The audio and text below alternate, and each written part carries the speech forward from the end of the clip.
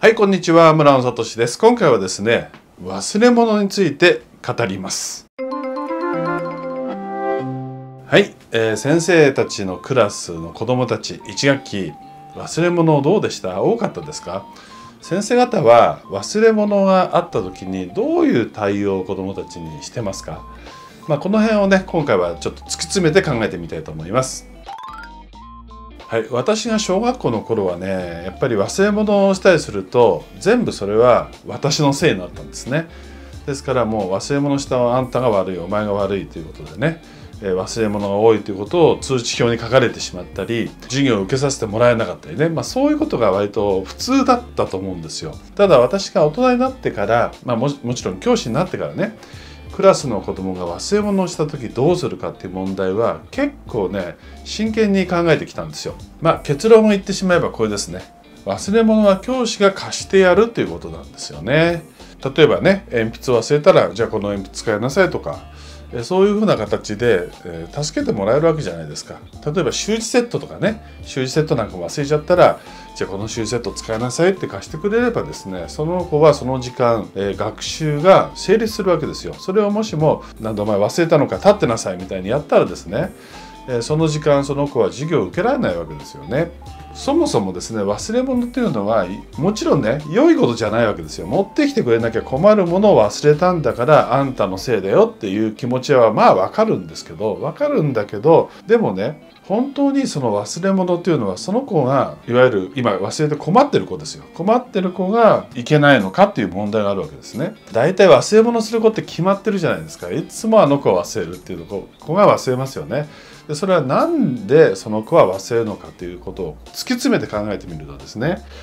この家庭の事情であることが結構多かったんですよ。やっぱりねいろんなご家庭のお子さんを担任は持ってますからね本当に保護者が子どものことをよく見て忘れ物したように配慮してくれてるお家もあればですね、まあ、全くそんなこと関係なくね子供はもう適当に過ごしているという、まあ、そういうお家もあるわけですね。教室にいる我々教師はねついみんな同じように見えてしまってでこの子は忘れ物したみんな持ってきてるのにお前は何で忘れたんだっていう意識になりがちなんだと思うんですよね。そうするとついね忘れ物した子を叱ってしまったり何かねその子はね忘れてしまったことによる何か罰みたいなものを与えるっていうことがね我々が小学校の時には割と多かったんだと思うんですよ。まあ、でも今ねいろんな家庭が増えてきてますよね。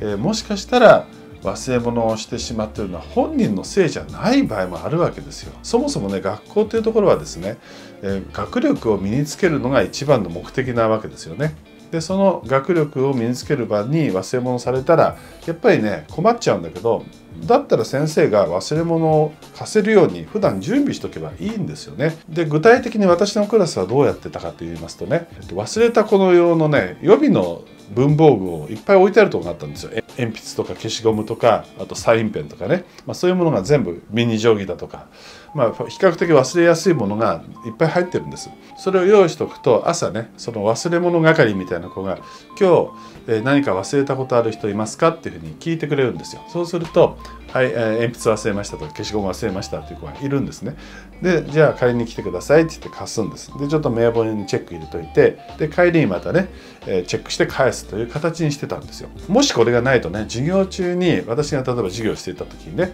ある子が急に来て鉛筆忘れましたとか消しゴム忘れましたって言いに来るわけですよね。そうするとそこに対応しなきゃいけないわけですよね。それって全体的にも時間のロスになります。ですからね朝の会とかにそういう係の子が忘れてしまった子にはねそういうものを貸し出すというシステムを作ってました、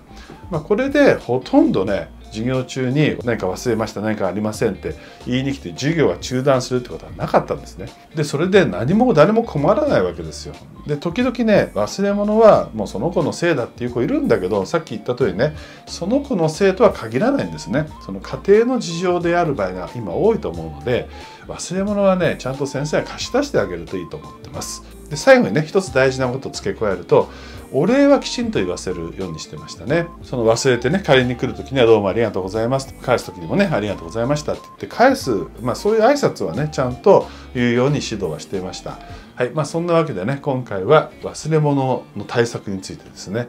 え、忘れ物をするとねその子に厳しい先生いらっしゃるんですけども。でもねその子の生徒は今限らない家庭の事情であることも多いので、まあ、その辺はうまくね対応していただけたらなというふうに思います。はい、それでですね、夏休みの企画2つ紹介します。1つは夏休みスタートキャンペーンということで、2023年今年の4月の21日もす、もう始まっています。金曜日から9月の3日まで、私の教材開発ショップ、あるいは研究資料室ですね。そこの資料を全部1000円引きで販売しています。よかったらお求めください。それと2つ目ですね。真夏のサマーライブ模擬授業4本立てというセミナーを7月30日の日曜日に実施します。すいません。昨日の動画で私土曜日って言ったらしいんですけどもね。コメントいただきましてありがとうございました。日曜日です。4つの模擬授業を中心としたセミナーを行いたいと思います。えここにえ紹介してありますからね。これをよく見てご参加ください。ワークシートが90枚以上作るというセミナーになっています、えー、国語ですね。実際にはねそれ以外にも資料がつきますので100枚以上のさまざまな資料を皆さんにお渡しして2学期にご活用いただけたらなというふうに思います。はいではまた次の動画でお会いしましょう。さようなら。